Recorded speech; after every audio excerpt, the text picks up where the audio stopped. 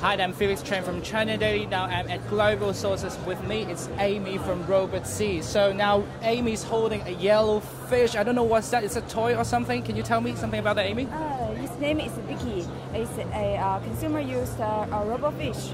Uh, you can use it uh, capture picture or video in, in the water. Uh, it's designed on the basis of bionic and hydromechanical theory and driven by the Karman vortex, uh, uh, which uh, developed by the uh, swing of the bionic fin and uh, it featured with high-techs such as the uh, eccentric planitude head, the uh, underwater acoustic communication, and the GPS. Uh, the uh, restraint of using a wire to control the uh, small to medium-sized ROV is broken through by using Wi-Fi and a, a sonar controller for operation. So it's controlled by a remote control or a phone app, something? Yes, uh, when it's underwater, you can control it by the app in your smartphone. Uh, while it's underwater, uh, you can control it by a so, uh, sonar controller.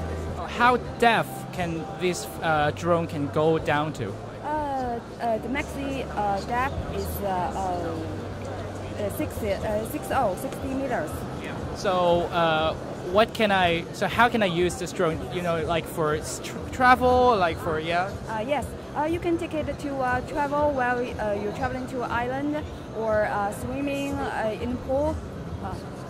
Okay. So is it on the market already, or it's uh, yes, yes, uh, you can. Uh, it's available on Kickstarter and Indiegogo. okay? Thank you very much, Amy. Thank you. Thank you.